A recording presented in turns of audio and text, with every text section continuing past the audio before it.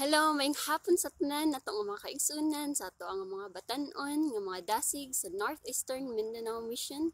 Ako si Sister Bridgie Ann at Blanco, usa ka member sa Kaswagan Lorito Agusan del Sur, sakop sa Iskaya 2 ug kasamtangan ana sa North Carolina, USA. Ako sa ka um, pa active uh, member sa ato ang NEM Prayer Network. So every night sa Philippines naga-join ko or nag-participate sa maong uh, devotional and united prayer. And um, since, because of our time differences, um, early in the morning here, I need to wake up early in the morning. So, but it doesn't matter. It's a matter of sacrifice, mga kaigsunan. I'm just happy and blessed nga nahimo kong part ni aning uh, ministry.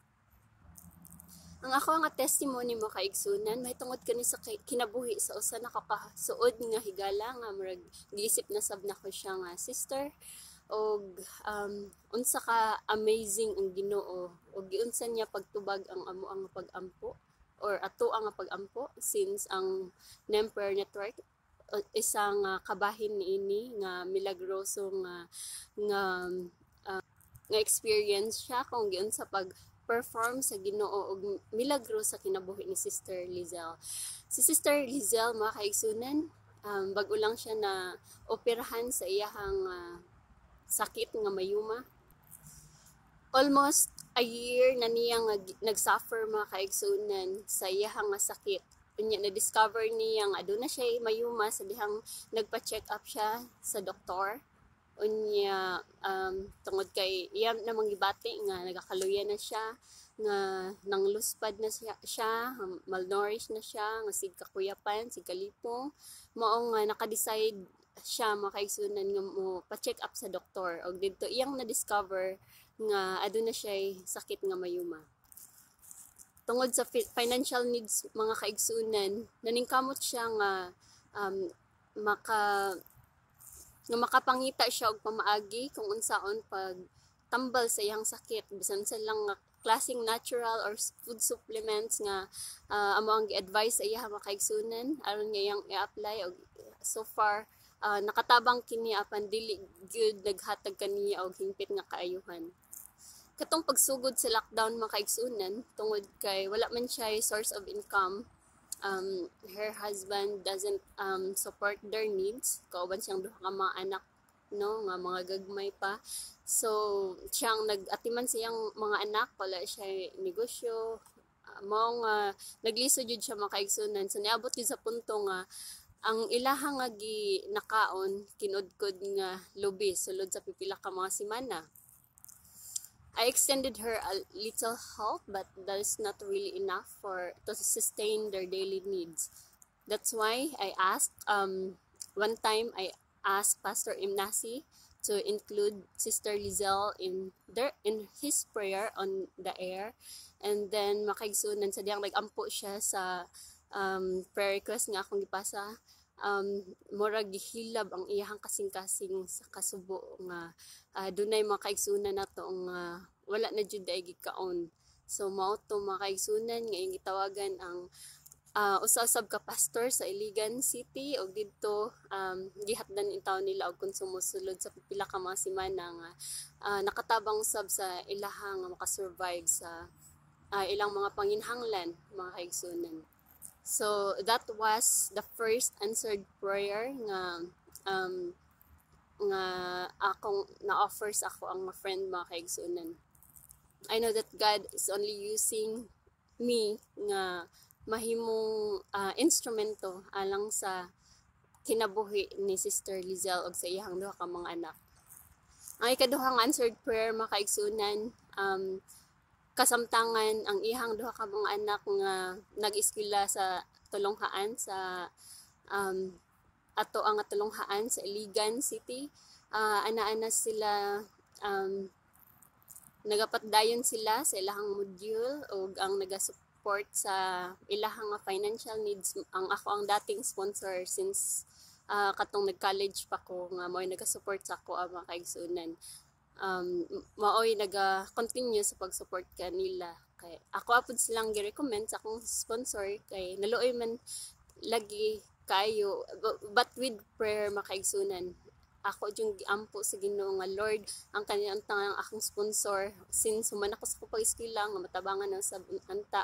Kining duha ka makabataan ni Sister Lizelle tungod kay iyang mga anak makaigsunan. Mga malamon kini talented niya mga ambungan o gwapa. So mo mga kaigsunan niya. Sayang kayang ilang potential mga kaigsunan niya.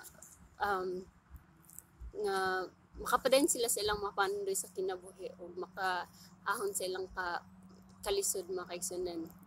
So that was the second answer to my prayer sa ako ang friend. And then the last and very challenging uh, prayer nga uh, padayon nga ako ang ginapangayo sa Ginoo mga kaigsunan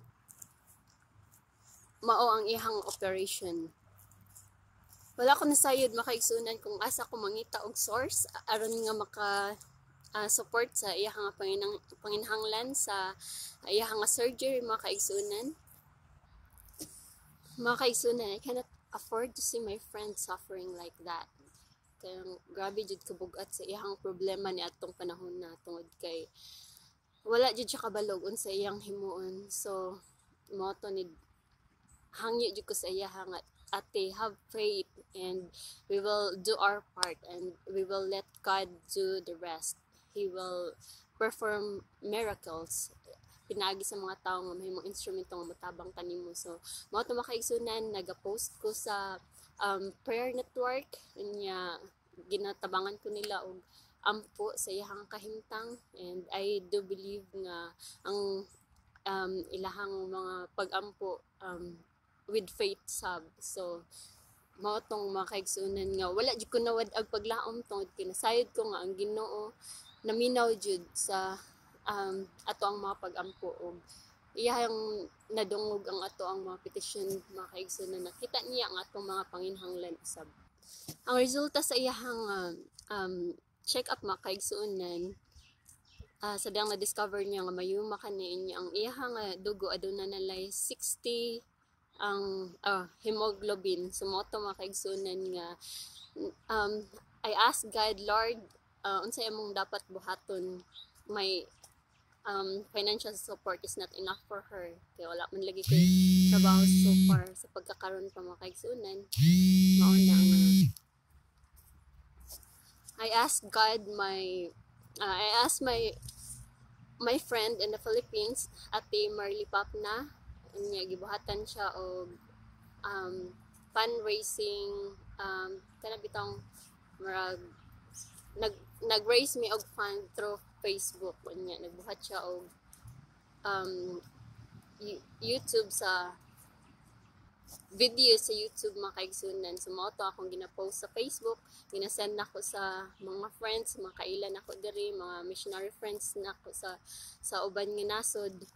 I really hate to do solicitation makaigsunan but um, ako ang gibuhat ang akong best nga um, I, I can make something for her.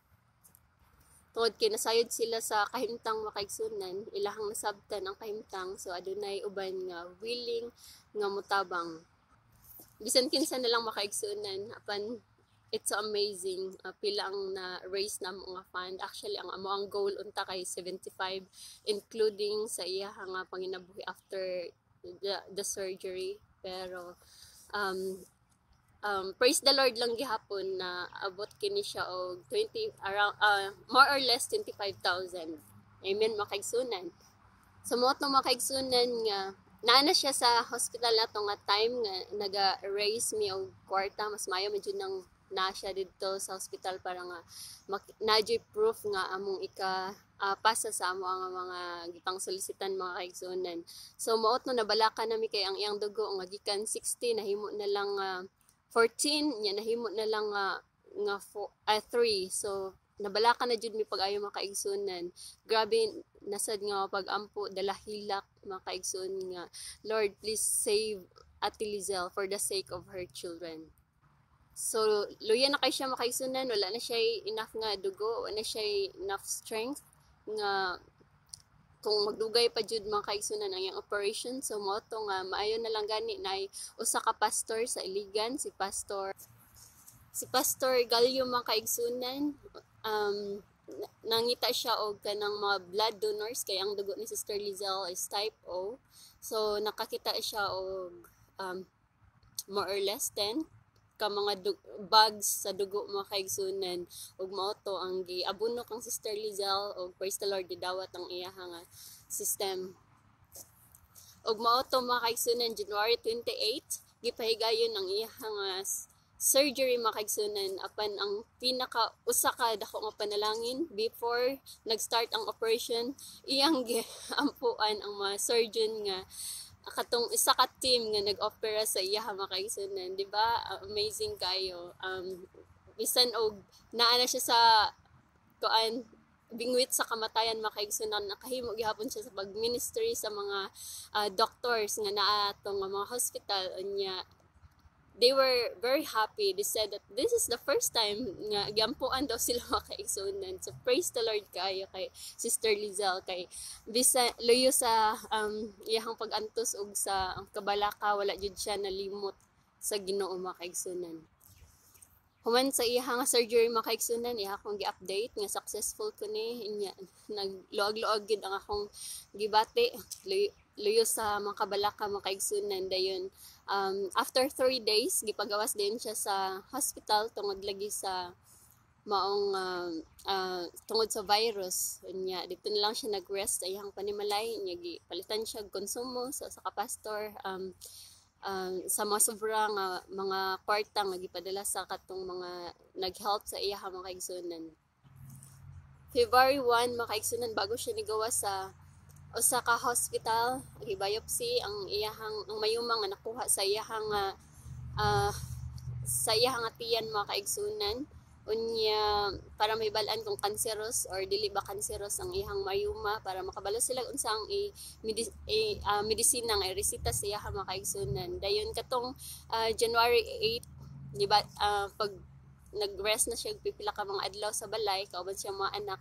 Um, nibalik siya natong January 8 aron sa pag uh, patanggal sa tahi nga naa sa ihang tiyan makaigsunan. So karon praise the Lord naginahinay nagka-recover ang iyang masamad makaigsunan unya nakahinahinay na sab siya sa pagsugod og ginagmay nga negosyo makaigsunan nagsugod lang yang negosyo sa 500 nga tinigom sa iyang anak nga sa ilahang alkansya makaigsunan so mao na ang iyahang uh, ang update sa iya nga kahimtang karon makaigsunan. Og um, niingon siya nako nga gusto ni, siya nga magbuhat og ministry or like crusade unya aron nga makahimo siya sa pag balos sa kaayo sa Ginoo sa iya ha tungod kay iyang um, naisip mga kaigsunan nga second life na daw niya. Kining iyang kahimtang karon sa mo na nga iyang uh, gibalik sa ang himaya og dungog sa Ginoo.